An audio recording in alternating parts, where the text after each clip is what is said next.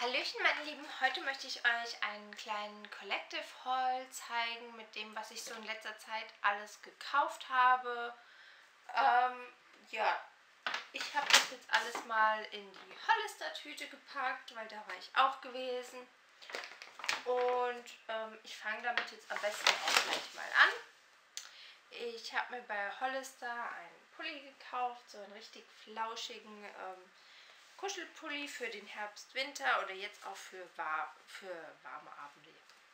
Für kalte Abende und ähm, der ist so ja, rosafarben mit einem mintfarbenen Flockprint und ja, der ist halt einfach super, super flauschig und der war jetzt im Sale gewesen.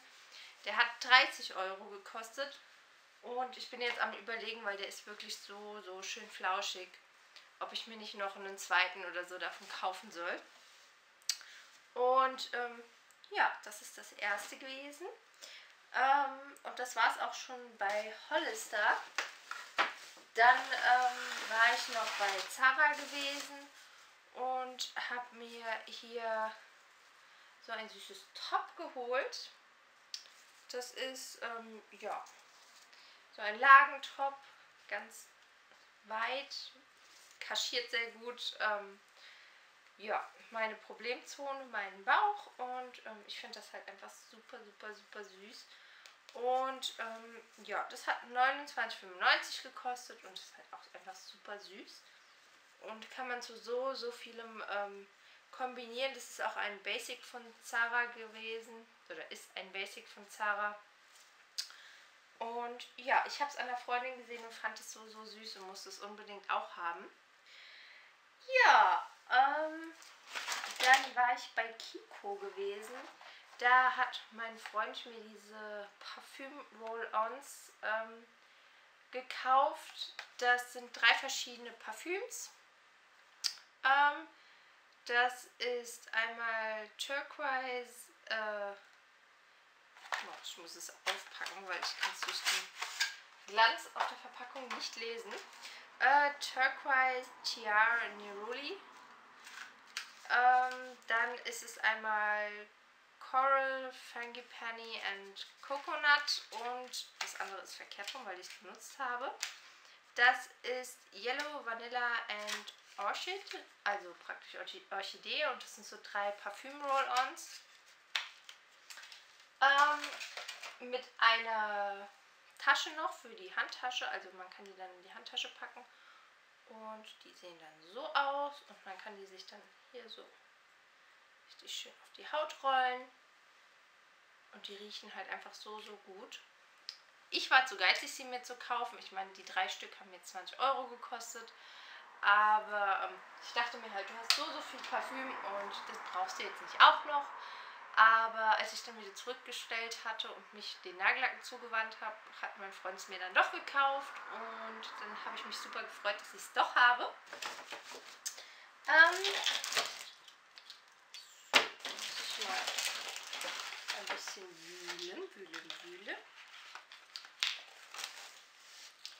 So, dann kommen wir mal zu den Nagellacken von Kiko.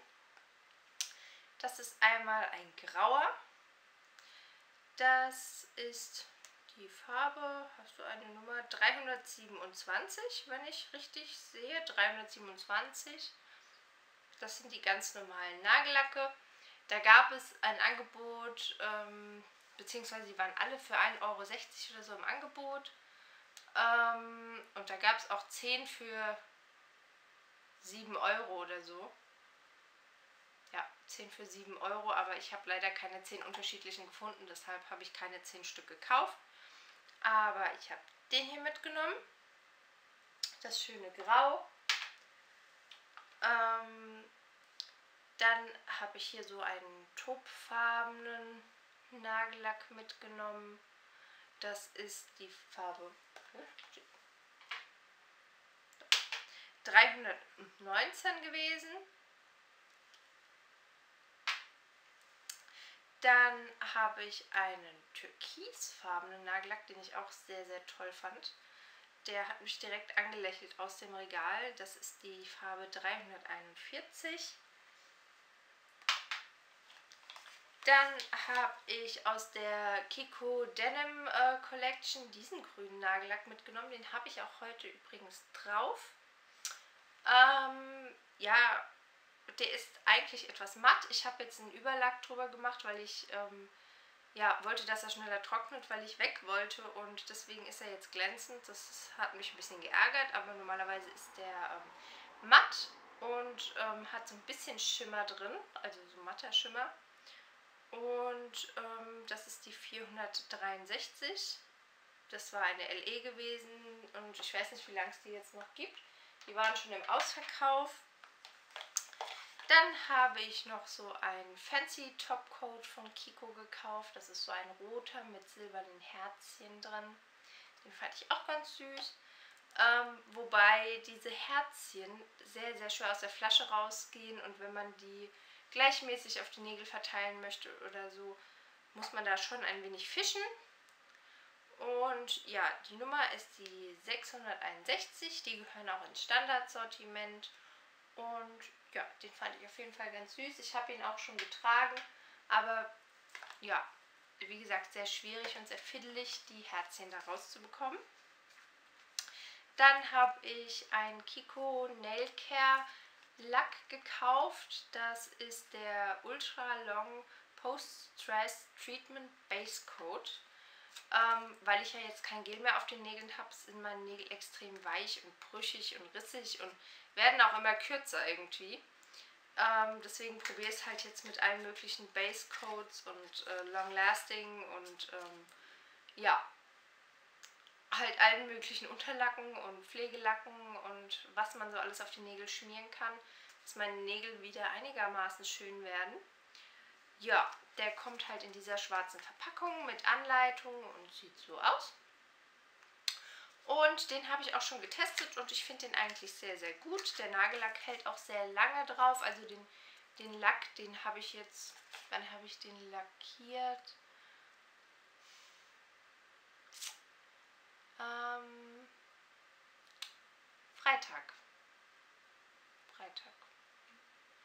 Ja, also der ist jetzt gut.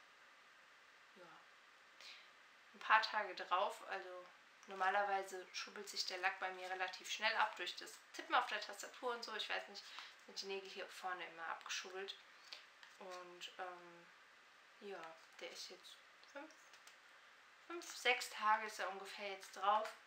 Und ähm, ja, aber das kann natürlich variieren, wann ich das Video hochlade. Ich habe es jetzt heute Abend einfach, weil ich Lust hatte, mal gedreht und weil sich einfach schon so viel angesammelt hat. Und ja. Ähm, dann habe ich noch einen Sportproof Eyeliner von Kiko mitgenommen. Die sind auch neu. Ähm, und das ist die 04. Weil, ja, wie man merkt, stehe ich momentan irgendwie auf grün. Und habe mir jetzt auch noch einen türkisfarbenen Eyeliner geholt. Der hat so einen schönen Schimmer und der hält auch super, super lang, hält sich super gut. Und ähm, ja, der hat so eine Spitze. Das ist praktisch ein ganz normaler Eyeliner. Und ja, also ich würde mir auch noch weitere davon kaufen. In anderen Farben, den gab es noch in Grau, Lila, Schwarz und so weiter und so fort. Ähm, Preise weiß ich jetzt leider nicht mehr. Den Kassenzettel habe ich schon weggeschmissen, weil das ist einfach jetzt mal alles eingesammelt, was, was ich in letzter Zeit alles gekauft habe. Und ja, den kann ich euch auch nur empfehlen, wenn ihr wirklich jetzt im Sommer fürs Schwimmbad langanhaltendes Make-up wollt, langanhaltenden Eyeliner. Da ist der sehr, sehr gut. Dann, äh, leere Tüte. Zu guter Letzt, ich sammle mal alles ein, was hier unten reingefallen ist, war ich noch bei DM gewesen. Ähm, ja, ich habe nochmal, wir sind übrigens doch nicht nach Stuttgart gefahren, aus persönlichen Gründen. Hat es leider nicht funktioniert und jetzt fahren wir in drei Wochen nach Stuttgart und ähm, ja, deswegen habe ich jetzt nochmal so ein zweites ähm, ja, Zahnbürstenbehältnis geholt in rosa für mich, ähm, weil ich dachte, wir hätten noch eins, aber ähm, ja, haben dann doch keins mehr gehabt und jetzt habe ich noch ein zweites nachgekauft. Dann habe ich von Rexona Woman Maximum, Maximum Protection das Deo nochmal nachgekauft, weil das ist so, so, so gut. Also so ein gutes Deo wie das hatte ich noch nie gehabt. Das hält ultra lange, also ich renne damit den ganzen Tag durch die Hitze und auf der Arbeit muss ich öfter mal auch langärmelige Oberteile oder Blazer oder sonst irgendwas tragen. Und ich habe einfach gar nicht das Gefühl, verschwitzt zu sein oder in irgendeiner Weise zu riechen oder mich unwohl zu fühlen. Ähm, was ich halt sonst immer so nach einem halben Tag habe ich mich immer bappig gefühlt und musste dann direkt äh, auf die Toilette laufen und mich mit Deo einsprühen oder sonst irgendwas. Das habe ich damit eigentlich gar nicht. Und ähm, das kann ich euch allen nur empfehlen. Ja, es ist Aluminium drin, aber ähm, ganz ehrlich, ich denke mir, so, solange mir keiner zu 100% nachweist, dass Aluminium Brustkrebs äh, verursacht, benutze ich es weiter und ja, es gibt so viele Sachen, die irgendwas Krebs erregen können oder sonst irgendwas. Wenn wir auf alles verzichten würden, ähm, dürften wir so gut wie gar nichts mehr nehmen. Also, ähm, ja. Deswegen ein aluminiumverseuchter Deo-Stift, aber Hauptsache er hält. Ähm, dann haben sich meine Sohlen in den einen Sneakers verabschiedet, deswegen habe ich mir von Balea mal die Cool and Fresh ähm, Sohlen gekauft, um sie mal auszuprobieren. Ja, hatte ich noch nie, keine Ahnung, hygienisch frische Sohlen. Normalerweise habe ich immer die Einwegsohlen, die laufen sich aber einfach viel zu schnell durch. Ähm, das sind auch so frische Sohlen mit so Minzduft oder so. Und ähm, jetzt wollte ich einfach mal die probieren, ob die ähm, was taugen. Und wenn die was taugen, werde ich die mir sehr wahrscheinlich für alle meine Sommerschuhe holen.